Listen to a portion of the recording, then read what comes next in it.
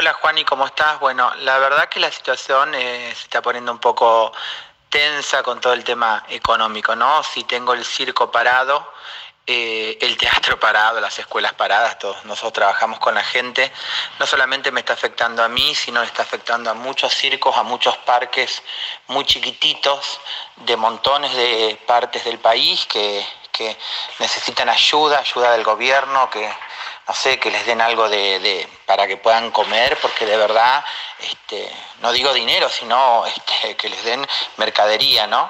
Este, estamos viviendo una situación muy difícil, cada vez se hace más difícil.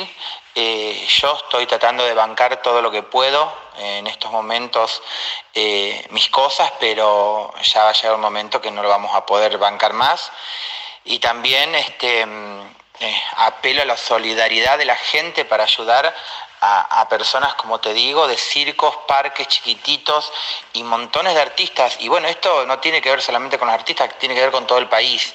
En cualquier rubro está difícil, pero es necesario que seamos un poco solidarios y que ayudemos a todo el que necesita, ¿no? Este, yo sí tengo el circo parado, el teatro, las escuelas y, esperando que, que todo esto pase y ver cómo podemos hacer como para salir un poco más adelante, ¿no? ¿Qué ayuda también eh, vamos a poder conseguir? Que, que ojalá casi sea para todos.